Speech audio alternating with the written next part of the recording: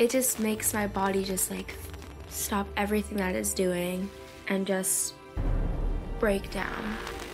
I was like hyperventilating. I was like, I can't breathe. I don't know what's going on. And she was like, I think you're having a panic attack.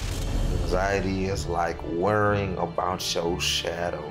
I just want to scream and being really upset and you just kind of start spiraling. You know, I pray about it, I think about it, I'm like, what can I do? What are, what's the next solution? How can I help him? I didn't think anyone else was having the same issues I was having, and I didn't want to be judged. We should take away all labels, all judgment, all shame. It's not the child's fault. We need to understand what's happening systemically.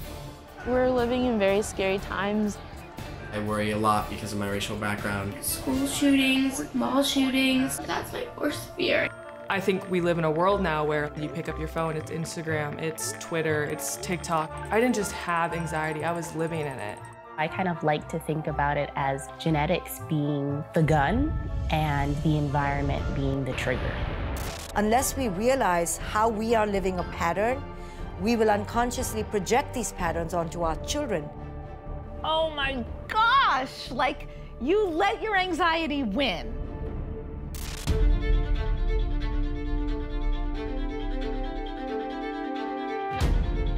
I talk a lot about anxiety as the cult leader.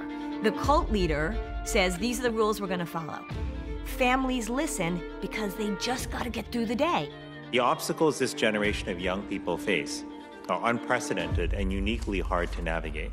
It's not that the system is broke, it's, it was never right.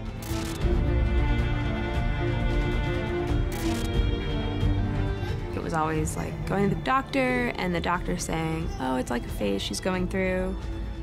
He said, no one understands me. What's wrong with me? Why don't I feel normal? And that's a terrible question to get when you're tucking your child in bed at night.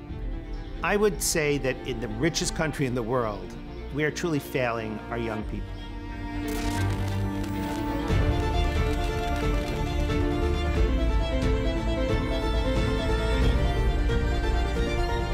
The message is loud and clear. This problem is not going away.